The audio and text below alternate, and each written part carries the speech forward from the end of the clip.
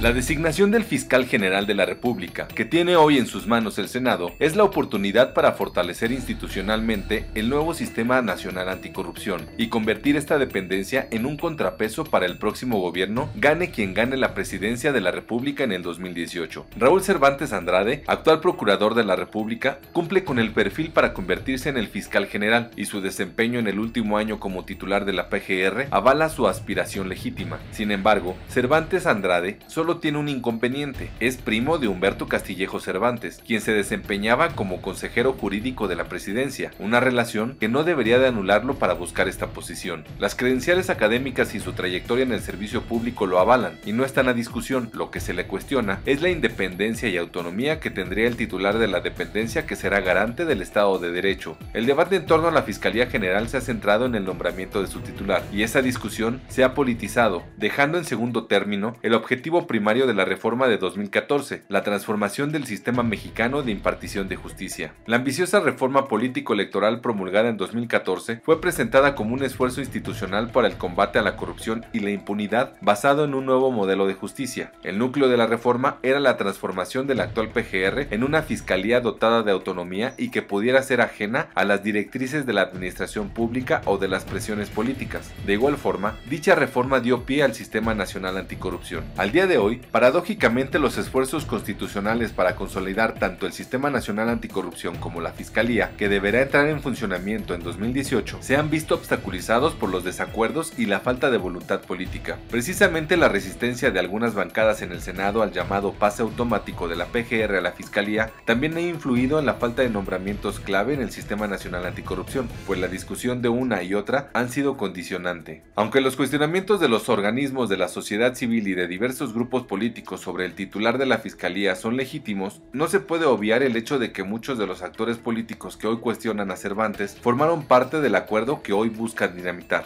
En diciembre de 2014, cuando se aprobó la transformación de la PGR en la Fiscalía General, se estableció, entre otros artículos transitorios, el hecho de que al entrar en funciones el nuevo órgano, el titular de la PGR pasaría a hacerse cargo de la nueva Fiscalía. Más allá de quién sea el encargado de encabezar la Fiscalía General, la falta de claridad sobre el andamiaje institucional que acompañará la labor del fiscal es una discusión fundamental que permanece aplazada.